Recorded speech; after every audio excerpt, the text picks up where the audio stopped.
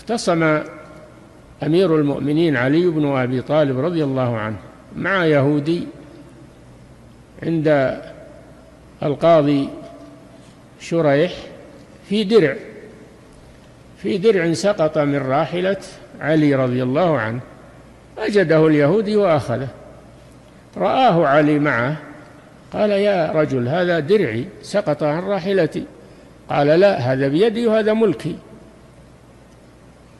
ثم قال اليهودي نذهب إلى القاضي. ذهب إلى شريح. ذهب إلى شريح. فلما جاء عنده واحتج علي رضي الله عنه بأن هذا الدرع له قال له هات البينة. هات البينة. فقال عندي شاهدان قنبر. خادمه والحسن بن علي رضي الله عنه. قال أما قنبر فنقبل شهادته وأما الحسن فهو ابنك ولا نقبل شهادة الابن لأبيه. ولا نقبل شهادة الابن لأبيه. قال لليهودي ما حجتك؟ قال هو درعي وبيدي. فحكم له حكم له القاضي شريح بالدرع.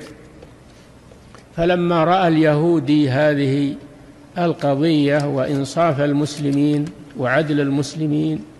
أمير المؤمنين يجي معه للقاضي. أمير المؤمنين يأتي معه إلى القاضي. أيضا مسلم مع مع كافر. قال أشهد أن لا إله إلا الله وأشهد أن محمدا رسول الله. فدخل في الإسلام وقال الدرع هي لك يا أمير المؤمنين لكن أنا وجدتها ساقطة فأخذتها. وإلا فهي لك.